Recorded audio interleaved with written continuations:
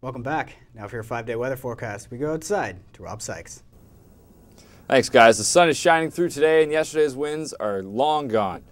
Shouldn't see any flurries today, and we should see a high of minus four. Let's have a look at our five-day forecast. Enjoy the sun while you can, though, as tomorrow will bring some light rain.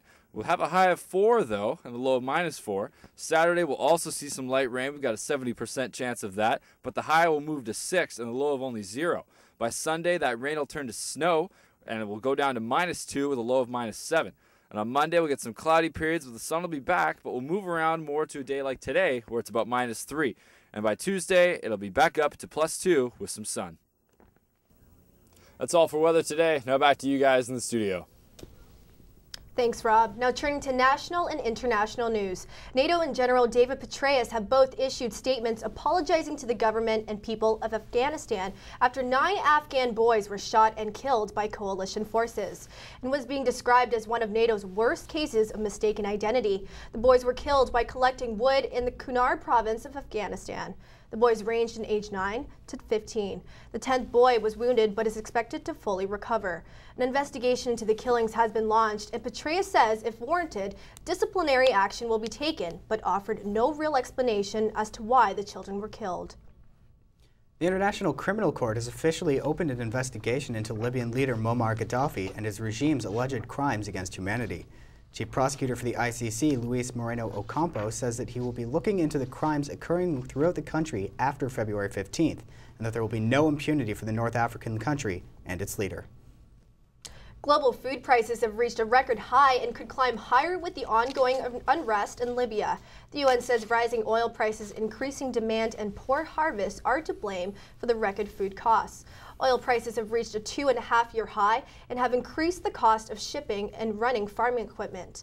The UN is concerned food prices could trigger riots like those in 2008 that occurred in 22 countries from Haiti to Bangladesh. The survival of the federal budget that will decide whether Canada goes to the polls this spring could rest with the NDP. The budget would require the support of one opposition party. Liberals in the Bloc Québécois have already announced their opposition. Finance Minister Jim Flaherty says the government's priority is to keep finances on the fiscal track it has established. The NDP has said it's looking at, for benefits for low-income seniors, tax relief for home heating bills, and measures to increase the number of family doctors in a new budget. And now with your sports news, here's Artis Zakarian.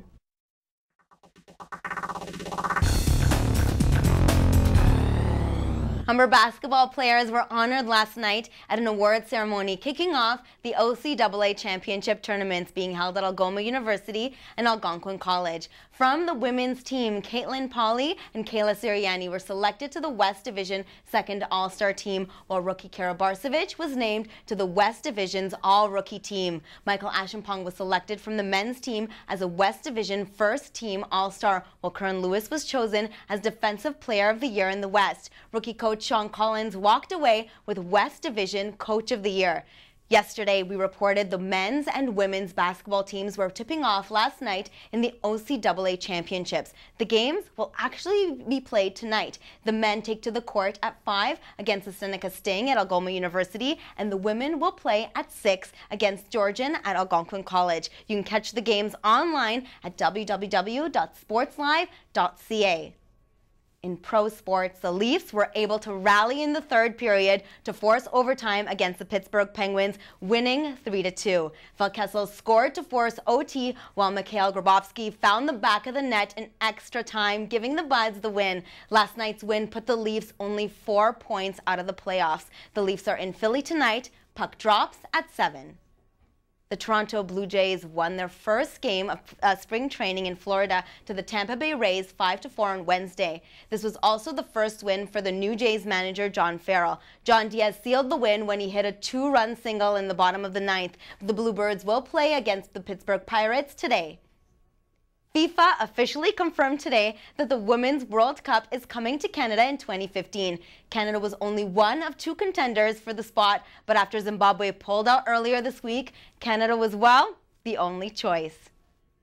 The Cricket World Cup is currently underway and Canada has taken a surprising lead over Pakistan during their match in Sri Lanka. The Canadian team is made up of many Pakistani expatriates. Pakistan is playing without its star fast bowler, which could take Canada to the first win in the World Cup after being defeated by Sri Lanka and Zimbabwe. A victory by Team Canada would be a major upset for Team Pakistan as Canada is a tournament underdog.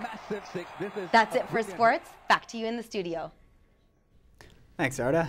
After the break, we'll get the latest in entertainment from Sarah Jacob.